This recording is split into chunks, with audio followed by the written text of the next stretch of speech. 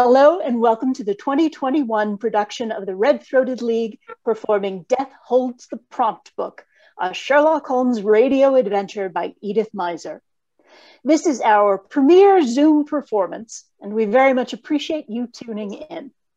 This script was first broadcast on April 12, 1933, almost exactly 88 years ago. Edith Meiser first brought Sherlock Holmes to the radio in 1930. Over the next 18 years, she adapted most of Arthur Conan Doyle's original Sherlock Holmes stories for radio and also created many original adventures, like the one you are about to see. In 1986, Ms. Meiser donated her collection of Sherlockian manuscripts and related material to the University of Minnesota. The Red Throated League is proud to work with the Sherlock Holmes collections at the University of Minnesota Libraries, as well as the Norwegian Explorers of Minnesota, to bring you one more of these wonderful stories. We would like to dedicate this performance to a former member of our company, Mary Manthey. She passed beyond the Reichenbach on January 20th, 2021, and we stand together on the terrace to remember her and her contributions to the Red Throated League. Now, please cast your imaginations back to the golden age of radio, or even further, to when it was always 1895.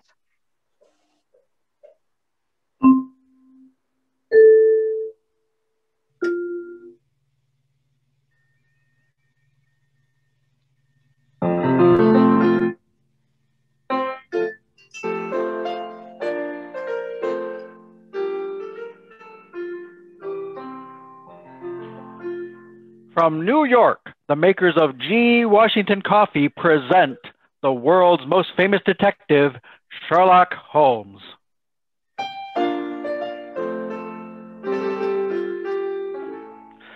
Our stories are based upon the character of Sherlock Holmes created by Sir Arthur Conan Doyle. Sherlock Holmes is portrayed by John Stanley, Dr. Watson by Alfred Shirley, and the dramatizations are by Edith Meiser.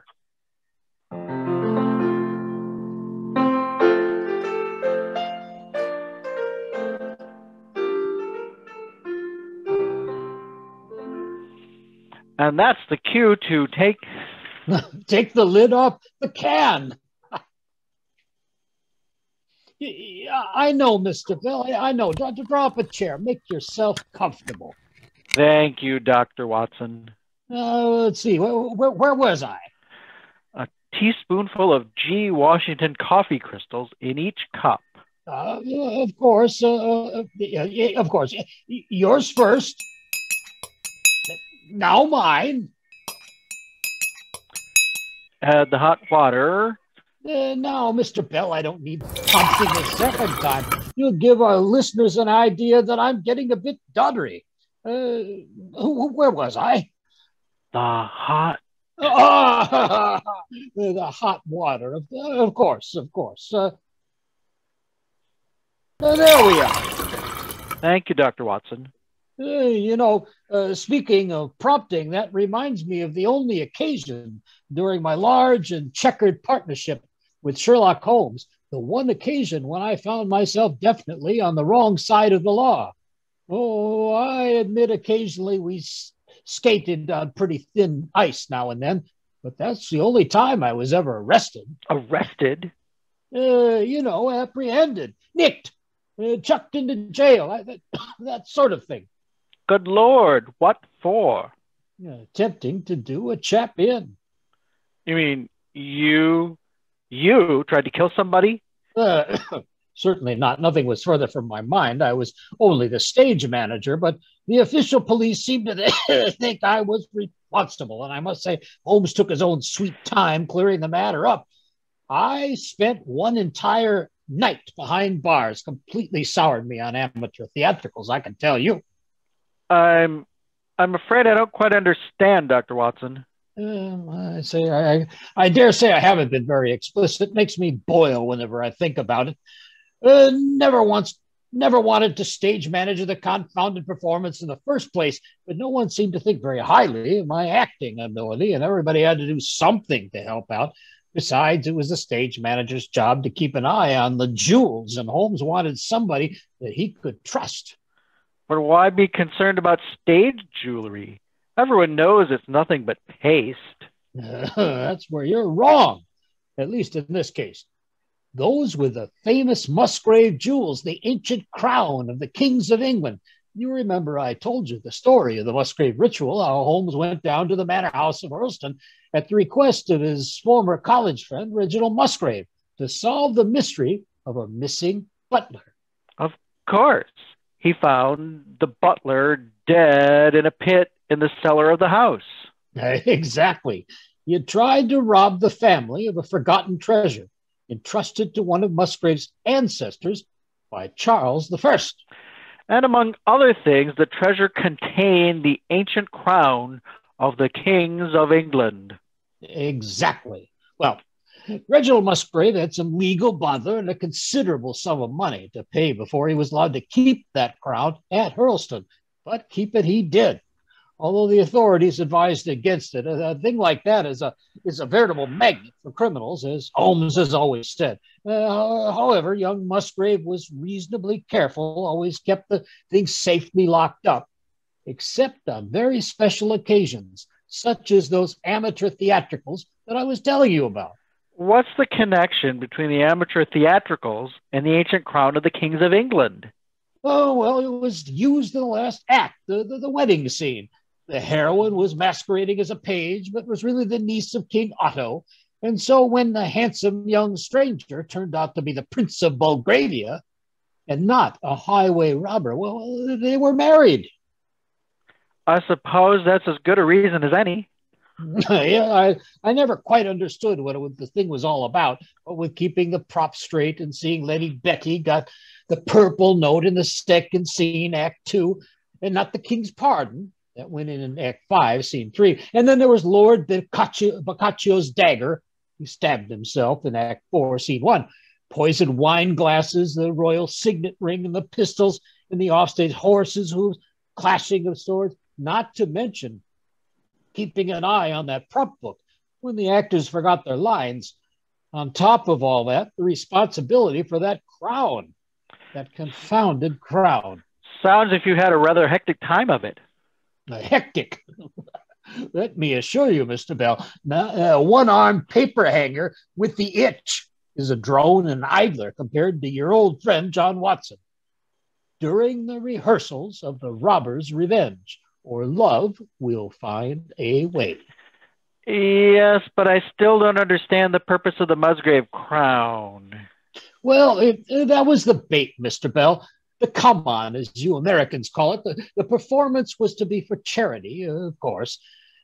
All the Aunt Berthas and cousin Sarahs might not be willing to fork over the required shekels to see little Nellie Kelly carry the Queen's train in Act One, Scene Five, but they'd gladly pay twice that amount to get a good look at Reggie Musgrave's lately reclaimed family jewels. I think I begin to see. And you and Holmes were invited down to keep an eye on the family sparklers while they were doing their bit for sweet charity's sake.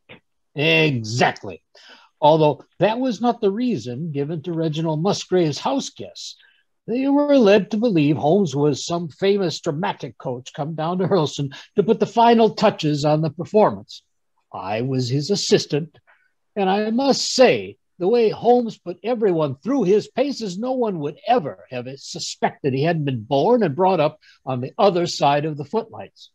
We arrived at Hurlstone on a Wednesday. The play was to be given Saturday night. Things were very gay. You know how it is, Mr. Bell. Nothing like rehearsals to break the ice at any house party. Everybody calling everybody else by the name of their character in the play. Everywhere you you see people going over their lines, rehearsing scenes, trying on costumes. I will say, I stumbled on some love scenes that were never found in the play itself. well, uh, uh, Friday afternoon came. We were going through our dress rehearsal. A few slight mishaps, of course. Reginald Musgrave, who was playing the handsome hero, had a stepladder fall on him. He acquired a bit of a black eye. The general's sword was stuck in its scabbard. The innkeeper's trousers were too tight for him to sit down. Otherwise, things were going quite as smoothly as could be expected.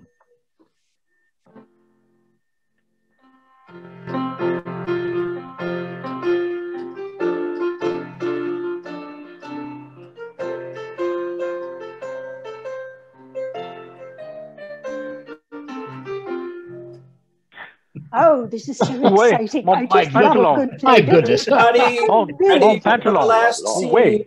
Just a moment, Holmes. I'll I'll pop round and get the blasted crown out of the safe so they can set the scene after this while we're changing our costumes. Good idea, Reginald, but don't dawdle. It's nearly time for the dressing bell, and we've got two more scenes to do. Is be back in a jiffy. All the props ready, Watson? Watson? Confound it, where is the man? Watson! Coming, coming, co- coming. co- uh, What's up, Holmes? Oh, there you are. Where in blazes were you hiding? Uh, me? No, nowhere at all. Nowhere at all. I was just loading the blanks into this revolver for this scene. Hmm, let's see. Yes, the weapon's a trifle modern for a play of this period. Really should be an old horse pistol. Yes, but you can't get blanks for that sort of blunderbuss these days, Holmes. No, I suppose not. All the rest of the props for the scene ready? Uh, yeah, yeah, yeah, yes. They're all on the prop table outside the door of the set. Uh, let me see now. Uh, um, lace handkerchief, a one, uh, two wine glasses, the the fatal letter, and this. Pis- that's the lot. Mr. Holmes, I, I say, Mr. Holmes, Yes, Dr. Jeffrey? couldn't we get on with the rehearsal? This innkeeper's costume of mine may be very picturesque, but the trousers are dashed tight. I don't dare sit down for fear of committing Harry Carey. Whatever does he mean? Will somebody take Betty aside and um, explain the facts of life to her? Here we are, Holmes. Here's the regal bonnet. Oh, Reggie, isn't it handsome? It must have been Watson! dashed uncomfortable. Watson, come here, will you? Uh, now what, uh, Holmes? I, you know, I really have more than I can manage. Well, here's another little trinket for you to keep your eyes on. Oh, that crown! Uh, oh, my sacred Aunt Mehitabel! What a lot of sparklers! It's the hereditary crown of the early rulers of England, unique and priceless. Hmm. One American millionaire offered me a king's ransom for a king's crown, but I told him I wouldn't dream of parting with it at any price. You should have seen his face. First time his money hadn't been able to buy something that he wanted. Well, here's the crown, Watson. Don't let it out of your sight. Uh, yes, but but Holmes, look here. That that's really not possible with all the bobbing about I've got to do. Op- opening, shutting doors, tossing papers, snow all over. Okay, How am I going to keep an eye on the blasted thing? I don't like to leave it on the prop table with the rest of all these things. Hmm, that's true. You'd better wear it. Wear, wear it. A fine sight. I'd be dashing around with that thing on my head. It looks deuced uncomfortable. What's more. Then at least you'll know where it is. Absolutely. Here you are, Watson. I crown you king of pandemonia. Now then, quiet, everybody. I want to run through the scene at the inn once more, beginning with the meeting of the two lovers. I know you don't mind running through that bit, Reggie. Rather not. Can't do it often enough to suit me. Reggie? Hmm. Alrighty then, we'll go right through it. Reggie, you come in out of the storm and find Miss Betty sitting by the fire. You play your scene. You're about to kiss her when the innkeeper rushes in to warn you that Sir Boccaccio is hard on your trail and threatening to kill you. Look here, Holmes. Um, couldn't Dr. Jeffrey wait until after the kiss to come bouncing in? Reggie, you're impossible. Sorry, Reggie. Scene's much too long now. I never have any luck. Then, before the two lovers have time to flee, Sir Boccaccio bursts in. There's the quarrel. Sir Boccaccio shoots, and the hero falls. Curtain. Everything straight? Sir Boccaccio's pistol is on the prop table, Lord Hubert. Righto. I only hope the thing goes off at the right time. You'll never know with blanks somehow. Tricky things. Eh. Everybody ready? Miss Betty, if you will sit by the fire and start the scene, please. Yes, Mr. Holmes. Watson, Watson, snow. Don't forget the snow. And bring the wind up when the door opens. All, all, all right, all right. Give me some time, won't you? Ah, here comes the snow. A bit gusty, but still, it's snow. Now then, Miss Betty. Ah me, the snow flies faster and faster, and night draws on apace. What if he does not arrive? What if they have captured him? Perchance he has lost his way. Hark, I hear footsteps. Footsteps, Watson, footsteps. Ah, his footsteps. Ronald. Betty, I, I mean Alicia. Reggie, the door.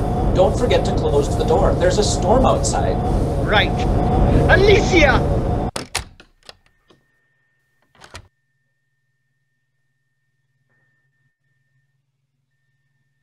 I thought you would never come. Your note said you needed me.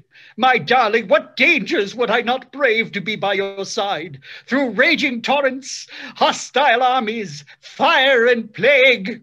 But Ronald, my love, I sent no note. Rather, am I here at your behest?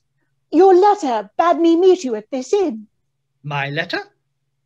Let me see it. Uh, have you it by you? I have kept it here, next my heart. Hmm. Oh dear, it seems to have slipped. I can't reach it. Never mind. Go on, go on. Ah! Ha! Uh, as I thought. It is no letter of mine. It is in Sir Boccaccio's foul hand. Ronald, then this? This is a trap. We must fly, uh, flee, fly. I, I, can never remember which it is. Ne- never mind. Either one will do. It is one fond embrace before we depart into the outer darkness. Ronald, my darling. Alicia, my own.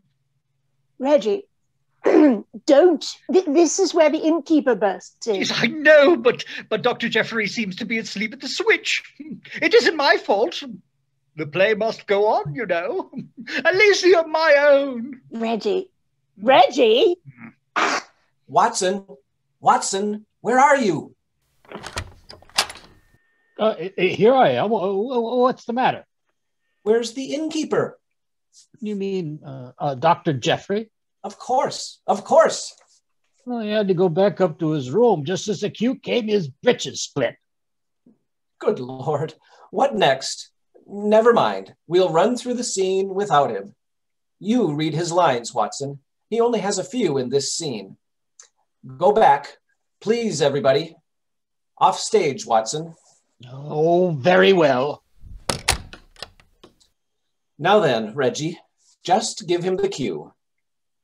One fond embrace before we depart into the outer darkness. Ronald, darling. Alicia, my own. Watson, why the knocking? It's the innkeeper's own inn. Uh, I thought, I know, but they're playing a love scene. It seems much more delicate to knock, doesn't it? We, we haven't time for that. They're in danger. Go back and try again. Just the embrace, Reggie. Ah, seems to be my lucky day after all. Reggie, really? Alicia, my own. Uh, Sir Ronald, he comes, Sir Boccaccio. Already he storms up the storms up the hill from the village. Merciful heavens! He has cut off my repeat, uh, retreat. For myself, I do not care, but we must hide the Lady Alicia. Too late, my friend. Aha! I thought I would find you here, cooing like two lovebirds. Well, the white dove, the Lady Alicia, she shall belong to me. Never!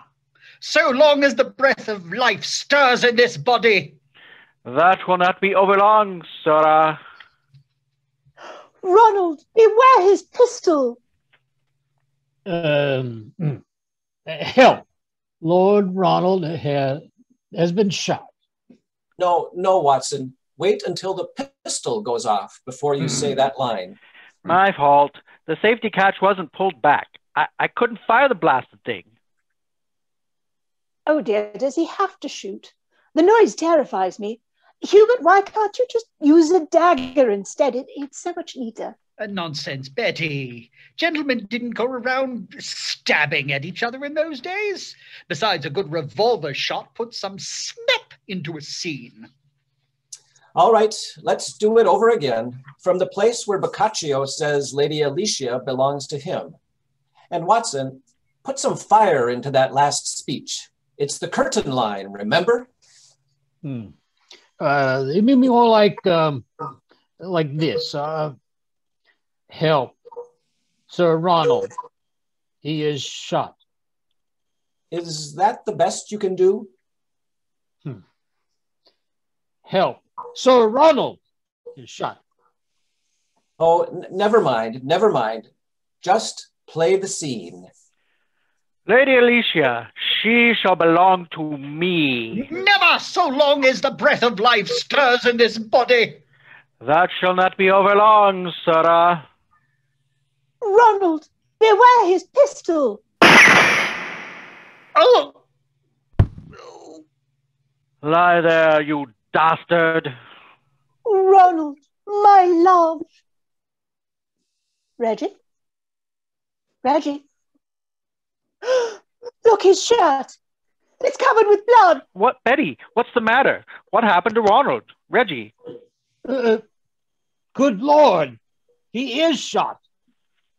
My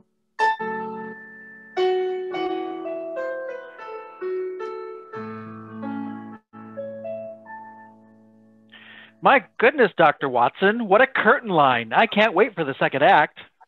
Well, uh, that's what this in- intermission is all about, Mr. Bell. A chance to fortify yourself for the plot twists and turns ahead. And also to grab a fresh cup of G. Washington coffee. Folks, the makers of G. Washington coffee want you to enjoy your intermission, so they've done the hard work for you. G. Washington coffee dissolves instantly in hot or cold water, and it has all the kick you want, for you can make each cup as strong or as weak as desired, and always fresh. 85% of the coffee bean, wood fiber, chaff, and other byproduct matter has been removed by Mr. Washington's refining process, and each can holds enough for many cups. Because you can make as much or as little as you wish, there's no waste in the coffee pot. And if you find that coffee leaves you a little too jittery to enjoy a good mystery like the ones Dr. Watson gives us here, try our new line of Tea Broker Teas. Whether you enjoy the brisk flavor of Mincing Lane Morning Blend or prefer a calming cup of Hudson's Herbal Helper, our new teas will set the stage for any problems or mysteries that you might have to solve. Now, speaking of setting the stage for a mystery, Dr. Watson, won't you take us back to Hurlstone Manor and show us how Sherlock Holmes solved the shooting of Reginald Musgrave? Oh, very well, Mr. Bell. Just one more sip. Mm-mm. On we go. I remember well the consternation backstage.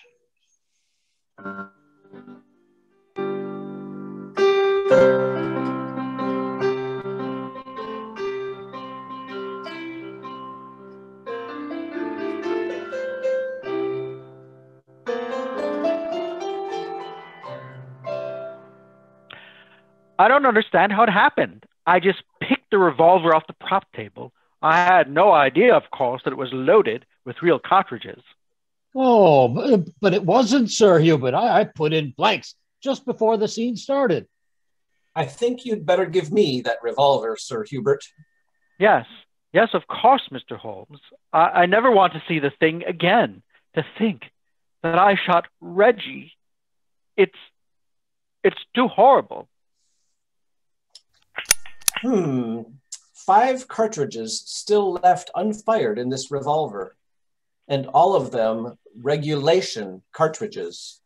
Uh, but I put in blanks, Holmes. I keep telling you, they were blanks. Magistrate will be most interested in your explanation, Dr. Watson, I'm sure. Hmm. Oh, Dr. Jeffrey, how is Reggie? Is he going to live? You can save him. Dr. Jeffrey, you must yes, be able to. I think I can safely say Reginald Musgrave will manage to pull through all right. The bullet lodged in a muscle. I had to perform a bit of an operation. Oh, thank heavens you were here when it happened. I don't know what I'd have done if anything. I mean, Reggie. Steady, Miss Betty, steady. You can't give way now, you know. Reggie will want to see you. Sorry, but I can't permit my patient to see anyone, at least for a day or two. He has a bit of a fever. Excitement might be very dangerous. But surely Mr. Musgrave's fiancée. Sorry, that's my rule, and I can't have it broken for anyone. Except, of course, Dr. Watson. Dr. Watson is an expert in fever cases, Dr. Jeffrey, as you doubtless know. He is not a surgeon, but now that the bullet has been removed, I feel sure you will allow him to assist you in your. I'm afraid I shall have to deprive myself of the pleasure of Dr. Watson's assistance. You see, the village constable happened to be in the kitchen, and I feel it incumbent upon me to give Dr. Watson in charge. After all, he was responsible for the loading of that revolver. Uh, but I, I, Oh, come, Dr. Jeffrey. It was an accident. I'm sure Reggie is the last person in the world to want to press charges against. Unfortunately, Mr. Musgrave is in no condition to act for himself. And inasmuch as I live in this district myself, I naturally feel the responsibility of enforcing law and order. In short, Jenkins. Yes, sir. Arrest this gentleman and take him down to the jail. I'll get in touch with the magistrate myself. Yes, sir. Thank you. Uh, Dr. Jeffrey, uh, what shall I say is the charge? Attempted murder. Dr. Jeffrey, it was an accident. Dr. Watson thought they were blanks. He didn't intend to have Reggie shot. I, I know they were blank. They, they were blanks. Take him away. Uh, Holmes, for heaven's sake, tell them they were blanks. Explain to him they were blanks. Sorry, Watson, but I'm not so sure. This isn't the first time you've been a bit absent minded, you know. Oh, Holmes, you too? I wouldn't have believed it. Uh, come along, you, and never mind the gab. Ah, One minute before you go, Watson. Don't you think you'd better turn over that crown you're wearing? uh, good Lord, I've forgotten all about it. Here, take it. I never want to see the blasted thing again. Thank you, Watson. Now, come on, you. I'll relieve you of that, Mr. Holmes, if you don't mind. After all, I'm a closer friend of Reggie's than you are, and that crown is rather a responsibility. Quite. But you forget, my dear Dr. Jeffrey, that there is someone here who is closer to Reginald Musgrave than either of us, his fiancée. Allow me, Miss Betty, the Musgrave crown. I know it will be safe with you. Oh, yes, Mr. Holmes. I'll put it back in the safe right away.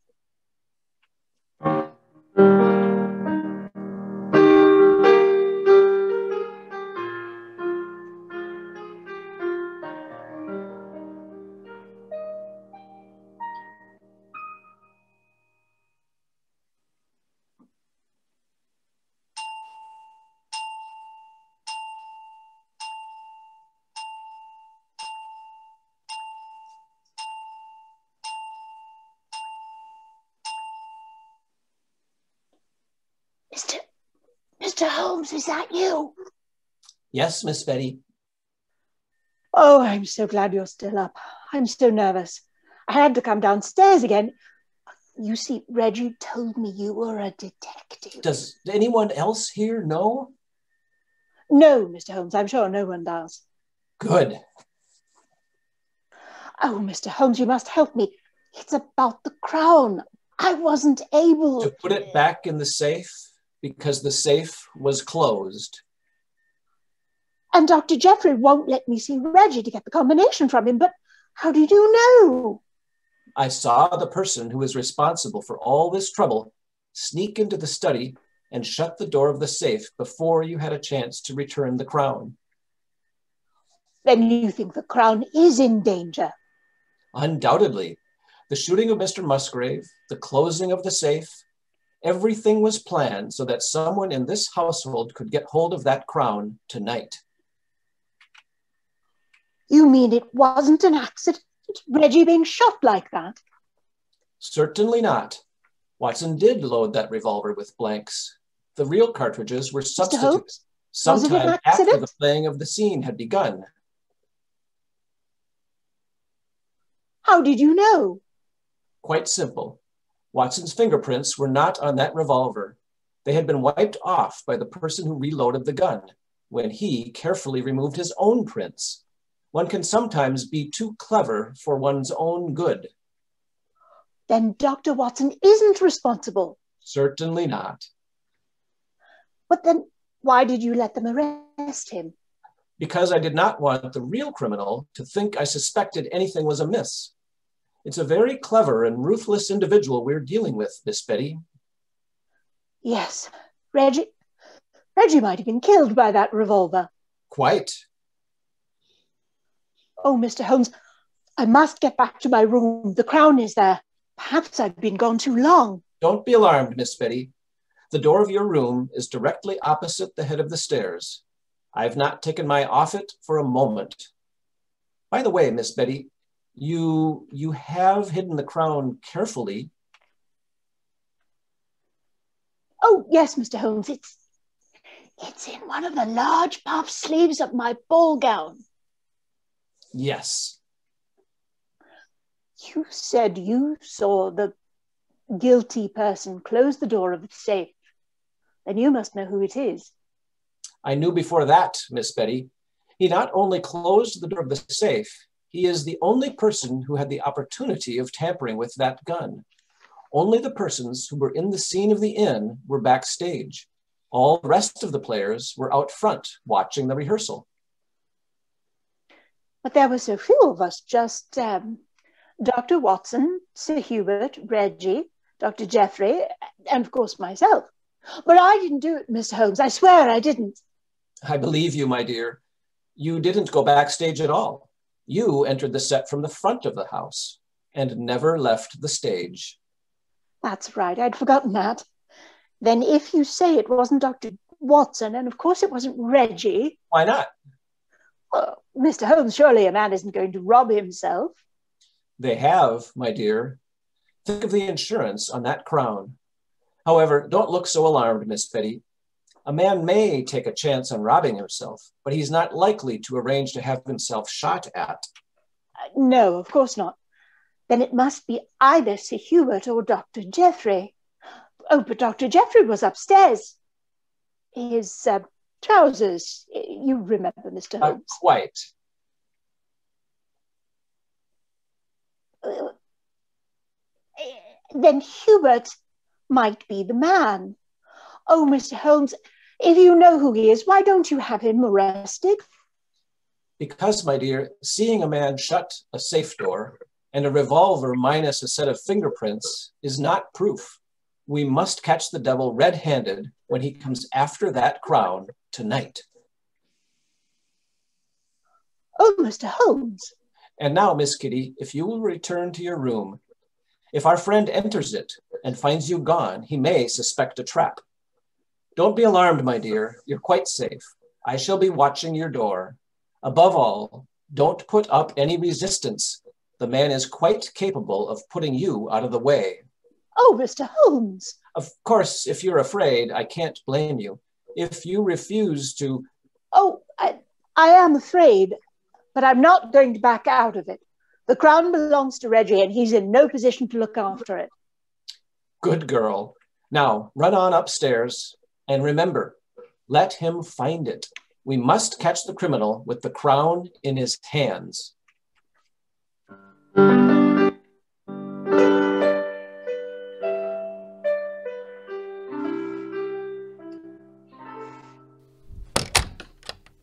That's funny. I was sure I left that lamp on when I went downstairs. Oh dear. What if someone's been here while I've gone? No, no, that's not possible. Mr. Holmes said he didn't take his eyes off the door. Still, oh dear, I wish tonight were over. The moonlight looks so weird and misty. Maybe I'd better just look in again and see if the crown is safe. Oh dear, the wardrobe door is stuck again.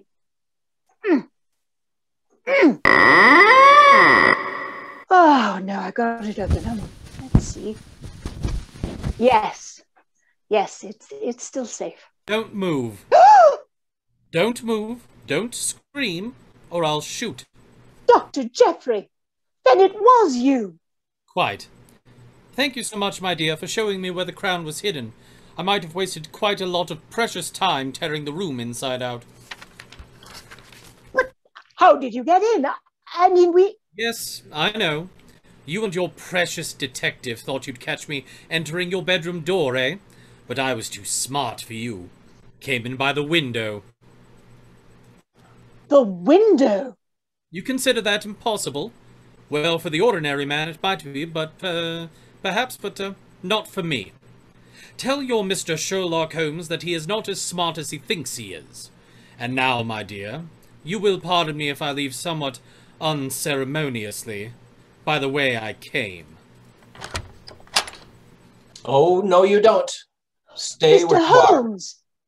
Mr. I Holmes. may not be as smart as I think I am, Dr. Jeffrey, but I'm a good deal smarter than your opinion of me. From my position in the hallway downstairs, I not only had a view of this doorway, but by peeking through the oriel window, I had an excellent vista of the outside of the house immediately surrounding Miss Betty's window. Knowing you to be quite a proficient alpine climber, I guessed you might take that way. The devil you did. Quite. I also know, my dear Dr. Jeffrey, that this is not the first time you have acted as the representative of Mr. Junius Kidd, the American millionaire, who is not overly scrupulous as to the method in which he adds to his famous collection.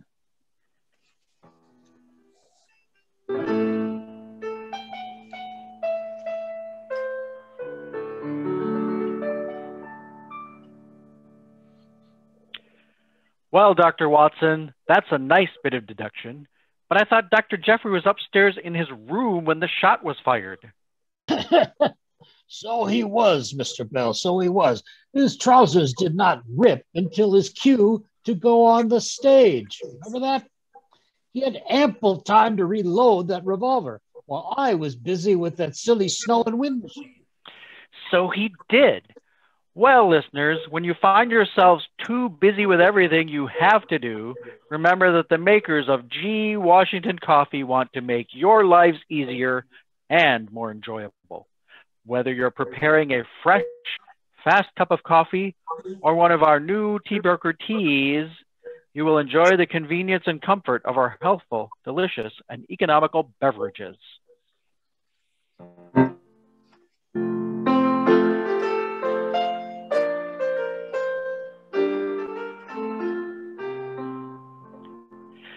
The makers of G. Washington Coffee and Tea Brokers Tea have brought you another in this new series of broadcasts featuring the world's most famous detective, Sherlock Holmes.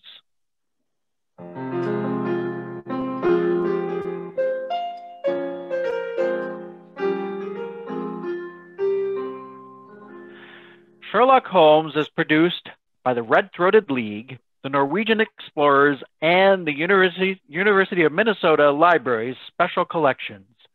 Our theme music was composed by Albert Berman.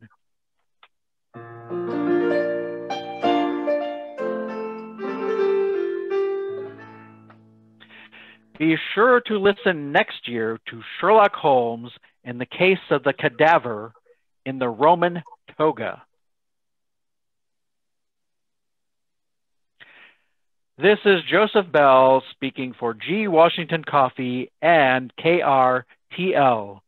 This is the Mutual Broadcasting System.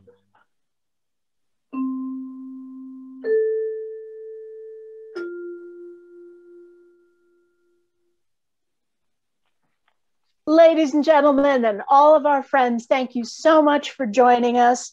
And let me introduce our amazingly talented cast and crew.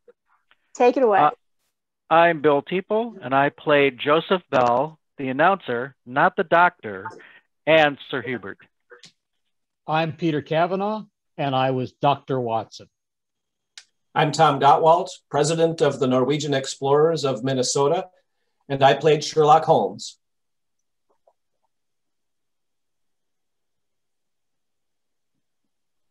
And John Clemo is currently on mute.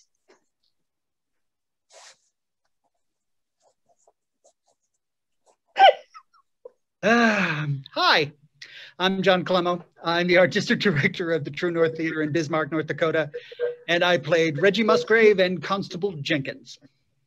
I'm David Harnwall from the I Am Lost Without My Boswell podcast, and I played Dr. Jeffrey. I'm Graham Leathers, and I played the incredibly talented and authentic sound Foley guy. I'm Morva Klein, and I play keyboards. And I am Karen Ellery, the director of the Red Throated League, and I played Betty. Thank you all for joining us. Many, many happy airwaves to you all.